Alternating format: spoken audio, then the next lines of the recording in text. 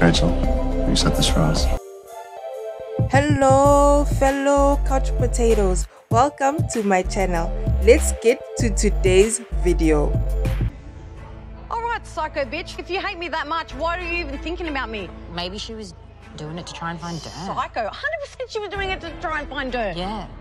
Totally. A married at first sight insider has revealed that Domenica and her best friend Ella Ding still had not seen the exact raunchy picture that was shown to the group, saying Ella and Dom never got to see the photo that everyone had seen that was circulating among the cast. No one ever showed them, and still to this day, they had not seen it. Because who goes home and goes and tells all their friends and gets their friends apparently to Google me and to, to research me? I don't, get think, I, don't, you. I don't think twice about her the moment I walk away from here. Accordingly, Dom could only guess what photo it was.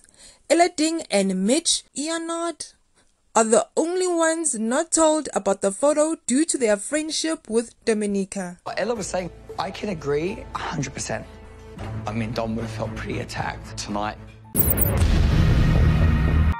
Hey Couch Potato, thank you so much for watching. Don't forget to like and subscribe. See you soon.